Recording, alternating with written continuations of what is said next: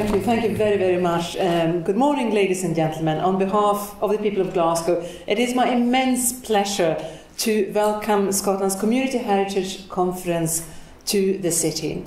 And this is, of course, a topic that's very close to my heart. Uh, a lot of people, a lot of you might have seen in the, the papers I used to be a piper, and that is why how I came to Scotland originally. But I do also have a background, my professional background, uh, as in, in my early careers, was actually working in archaeology and was working for the Museum of National Antiquities in Stockholm for about 10 years and very much with what we called um, living archaeology or practical archaeology. I was part of the education department there. And we very much liked to try things out and do things. So everything from flint knapping to cooking in Viking style, etc., uh, was very close to my heart. It was a great, great uh, privilege of working in that establishment, as well as a few other ones.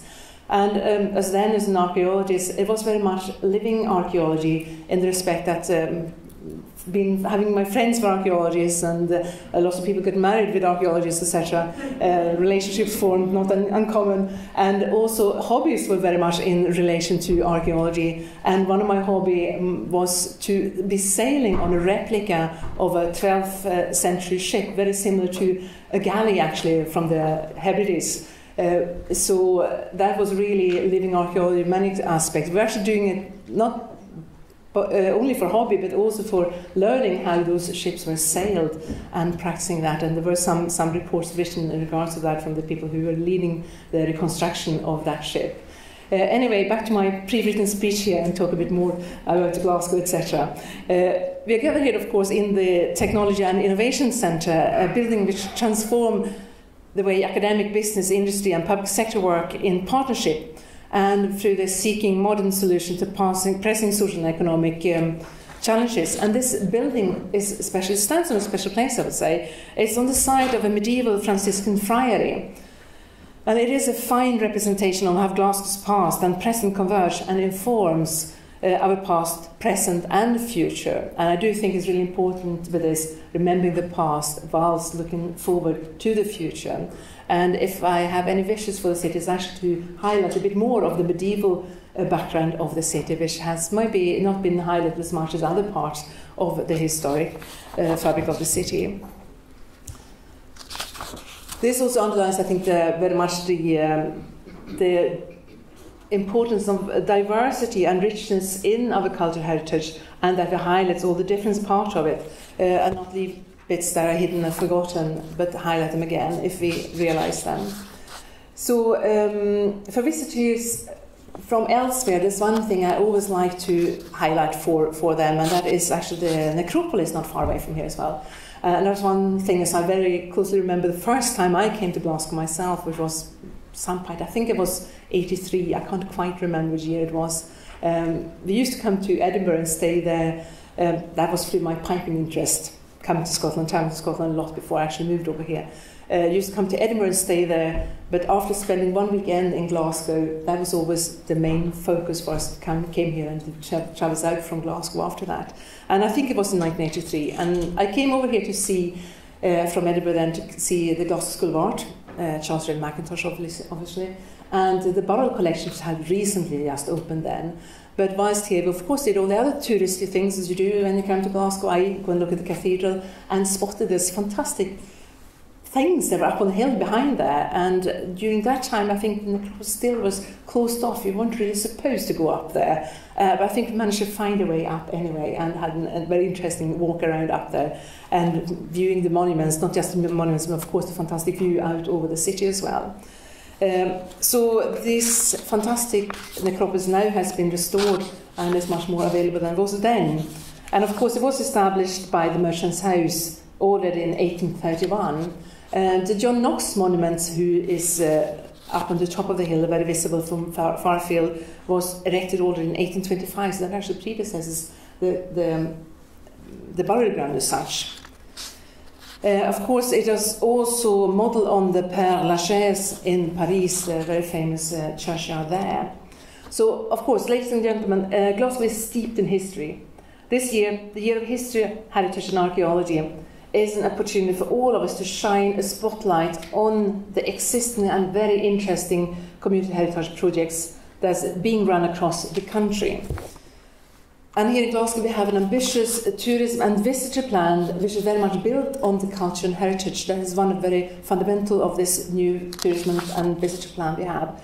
And up to 2023, we aim to attract another million visitors to the city. Uh, and position Glasgow as the gateway to Scotland. So we are not just marketing Glasgow as such, we really want to see that Glasgow is the gateway to Scotland. And it's interesting, someone I met who was just visiting and staying in Edinburgh, but also going out and doing a few other things. Uh, they said, "Oh, I don't understand. We had to go over to Glasgow to take the train when we want to go up to various places." And that is really the truth. You need to come to Glasgow to get the train back to the West Coast and, and to lots of other places. So uh, we are a gateway in that respect to most of Scotland. Glasgow, in this um, new tourism and visitor strategy, we have uh, prioritised uh, some core themes and number one in that list is heritage. And of course, we also have contemporary art, music, Charles Rennie Mackintosh as its own point, coming up for the 150 years anniversary of his birth next year. That is a very, very important uh, point. And another pillar is the world class sporting events. Glasgow is now positioned as actually the fifth best city in the world to run a big sporting events. Uh, so it's just adding to those accolades we are collecting and have been collecting the last year. Uh, also with the conservatoire now being seen to be the second best, uh, sorry, the third best conservatoire in the world. Another interesting uh, conference and uh, which taking quite recently is actually one about dark history. And our own dark history takes in the city's dubious wealth creation linked to the slave trade. Indeed, our iconic Glasgow Museum of Modern Art, GOMA, was the, a former tobacco merchant's house, his private residence. And these tobacco, cotton, and uh, later textile merchants made their fortunes trading with slave worked plantations. And their involvement clear to see in our street signs like Glassford Street, Virginia Place, and the Merchant City. And another person I met who had uh, recently come back from Jamaica um, been there talking about history and heritage and slavery in some respect as well. And um, there was a person whose name was uh, McKinnon, I think, the surname, Jamaican. And they were talking, and he was wondering, well, didn't know where this name came from and didn't recognize it at all.